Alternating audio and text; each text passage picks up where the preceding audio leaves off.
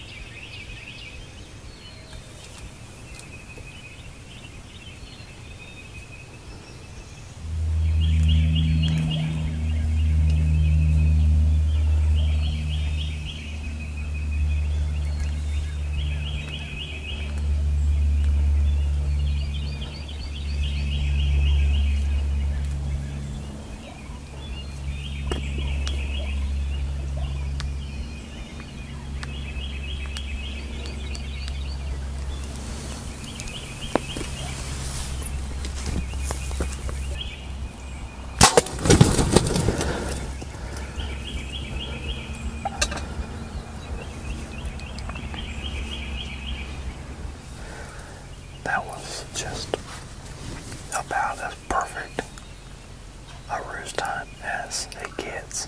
A couple jakes and hens fly on the field. They flew over the top of my blind. And I can look out this back window and see him strutting spitting and drumming. And he literally was not five yards from me. Then he came on around the blind and came out in front and finally made his way to the decoys. A quick roost hunt and it worked out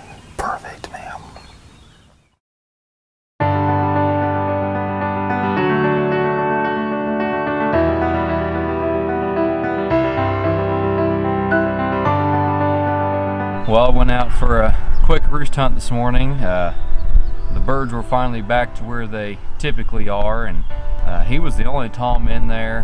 He only gobbled maybe once or twice, or maybe three times on the roost. And he finally circled around to the north, and I could kind of see his his uh, tail fan starting to come through the window of the blind, and uh, and he came right up to the decoys. And overall, it was a great hunt.